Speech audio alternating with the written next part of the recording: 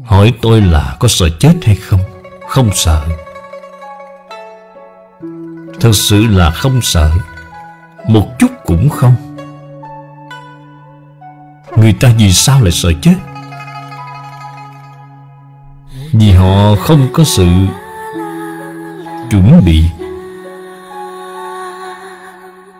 Tôi thì đã chuẩn bị rất kỹ rồi, Cho nên tôi không sợ.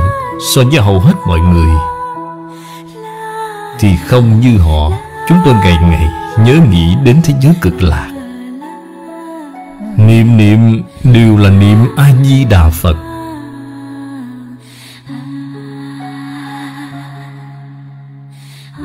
Tôi khuyên mọi người, Niệm Phật, Cầu sanh di đà tịnh độ. Thì bản thân tôi Sao có thể không làm chứ? Nếu tôi không làm, Thì những người học Sẽ nói tôi lừa gạt họ. Vậy thì tôi có lỗi với họ rồi. Thế giới cực lạc là có thật. A-di-đà Phật là có thật. Giảng sanh thế giới cực lạc là có thật. Ngày ngày đều có.